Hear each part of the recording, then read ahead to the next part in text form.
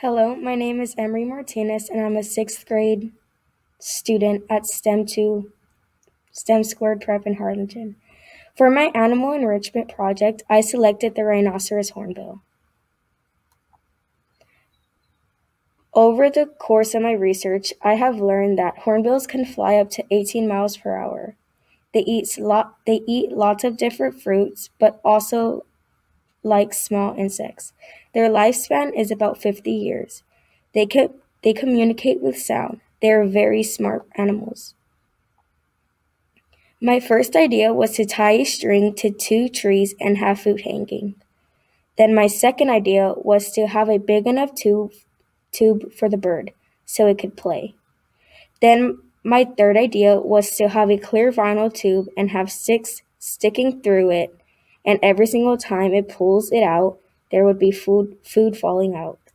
After discussing with my focus group, I decided to build, the build the maze eater. For my design, I used vinyl tubing and drilled some holes in it. I made sure to make the holes the right size so that so that I could push the sticks through it. I then used a chain to connect the bowl at the bottom where the food would fall. If the hornbill can pull out the sticks, the food would fall into the bowl. In building the maze eater, I used vinyl tubings, chains, a small metal bowl, metal rings to connect the bowl to the chain, wooden sticks, and a drill for the holes. This project took approximately two hours to complete. Small problems I faced when building this project were making the holes big enough for the sticks. Since the drill bit was not big enough, I had to move the drill around to make the hole bigger. My project was definitely a su- success.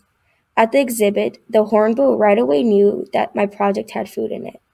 His keeper used a red stick that signaled him to fly forward, to fly towards the project. I was able to see him pull the sticks out to hit the jackpot, which which was fresh grapes and melon.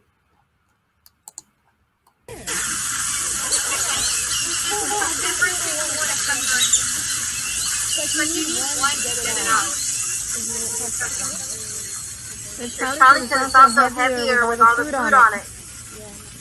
Like, nothing.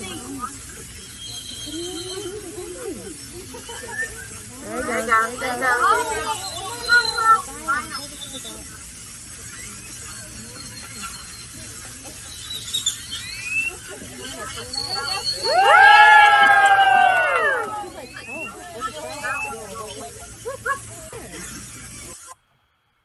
I think my project went really well, and I'm happy that the bird liked it. Enrichment for animals like the hornbill is something important because it gives the animal something to do, and it is a fun way to eat. If I had the chance to do this again, I would maybe make the tube even bigger to fit more food. Going to the zoo was my favorite part because I was able to see my project being used by the hornbill. I think this project was amazing. I think the best part was when the bird pulled out the last stick and got all the food. Bye.